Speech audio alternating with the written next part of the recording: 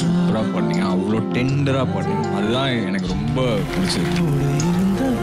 கொஞ்சம் உருக்குற மாதிரி பாடிட்டேன் ரொம்ப சோல்ஃபுல்லாக இருக்கு. சோல் மேட்ச் பண்றதுங்கிறது ஒரு பெரிய டாஸ்கா இருந்துச்சு. நம்ம சேர்ந்து பாடுவோமா மேட்ச்